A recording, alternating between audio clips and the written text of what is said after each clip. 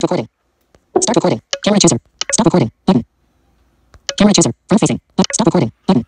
Well, I had another interesting O&M adventure today. I call it uh, Uber Adventures Through Wonderland and Unsolicited Help from Strangers.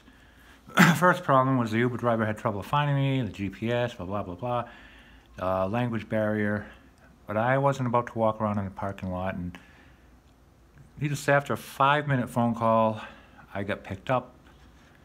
She's asking me if I can read signs. After the third time, I said I'm blind and, you know, identify me and blah. So that was fine. I get in the car.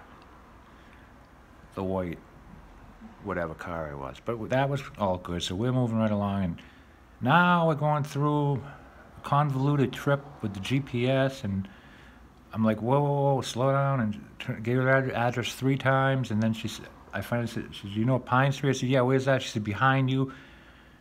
And then she st- cars. I can I can walk you to your. Uh, uh, so anyway, we're walking, and that wasn't too good because first she wasn't sure what street she was at, and um, I should have just um, done Aira or something. But she got me to my destination, and she said, "You want me to bring you back?" I said, "No. Once I know where I am, I'm fine."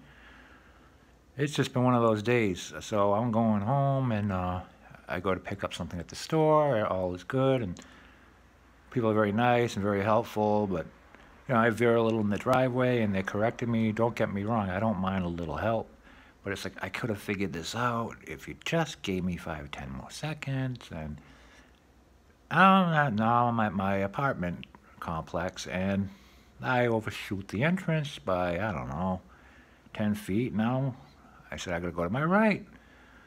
And there he is, a nice helpful maintenance man. I don't mind the help, but now he's like, oh, I'll hold the door for you, and I'll do all this, and I'll do all that. It's just like, how can I learn to correct myself when all these strangers are correcting me?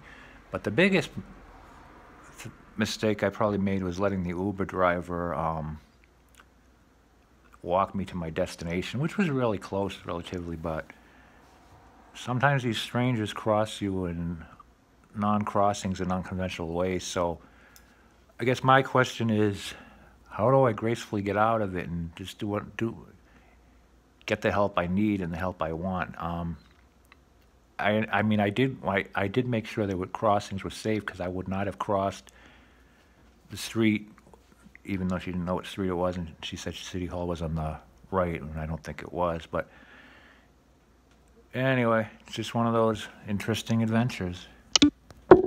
Stop recording. Button.